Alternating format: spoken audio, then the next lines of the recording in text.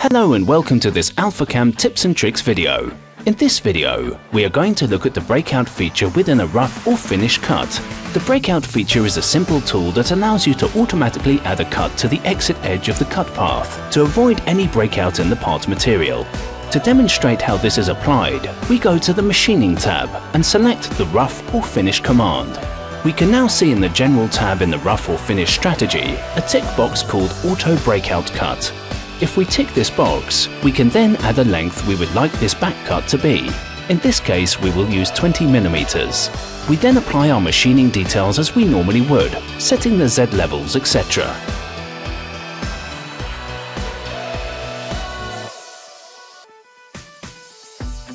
Now clicking OK to the operation, we can see we have an extra toolpath at the end of the geometry.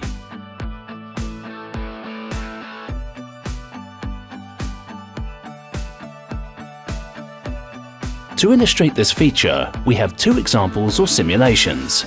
The first one has a conventional toolpath applied without the breakout feature, and towards the end of the cut, we can see there is possibility of breakout in the material. If we now simulate the cut path with the breakout feature applied, we can see it automatically applies a cut path in the opposite direction of the main path for the selected length, and then continues to apply the full cut, minimizing the possibility of breakout in the material, as the tool is always cutting into the component.